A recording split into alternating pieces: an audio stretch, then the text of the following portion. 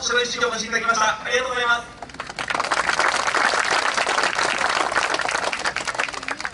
えーさて本年3月の福島県沖地震そして昨年2月の福島県沖地震によりまして、えー本市は甚大なる被害を被りました。特に本年3月16日福島県沖を震源とするマグニチュード7.4の地震の際には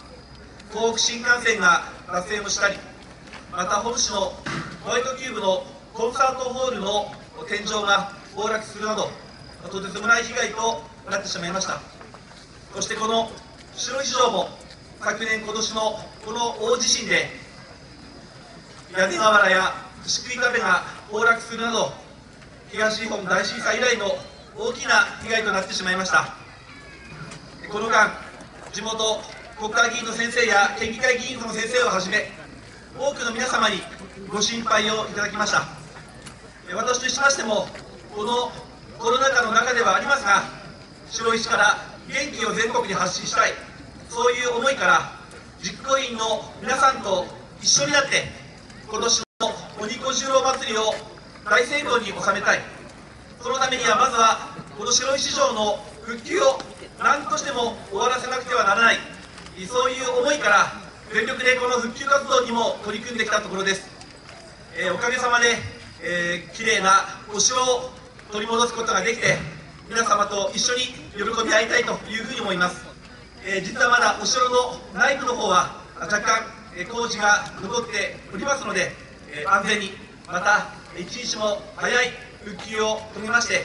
皆様と一緒に喜び合いたいというふうに思っているところでございます。え今年は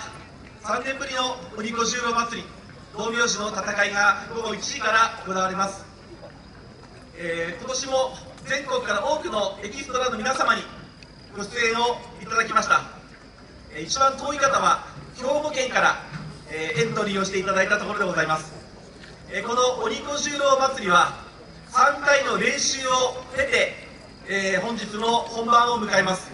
つまり3回の練習に参加されないと本番のこの鬼子十郎祭りに実演することはできませんのでエキストラの皆さんは3回の練習を経て本日を迎えられます。ぜひ皆様から多くの拍手を賜りたく存じます。え結びになりますが、本鬼子十郎祭り開催にあたりまして、実行委員会の森会長をはじめ、多くの関係者の皆様、またご支援をいただいている多くの皆様に心から感謝申し上げますとともに、今日が皆様にとりまして、記憶に残る素晴らしい一日となりますことを心から記念をするものでございます。え今日は一日大変暑くなる予報でございますが、こまめな水分補給をとっていただきいただきながら、記憶に残る一日にしていただきたいと思います。皆様本日はどうぞよろしくお願いいたします。ありがとうございました。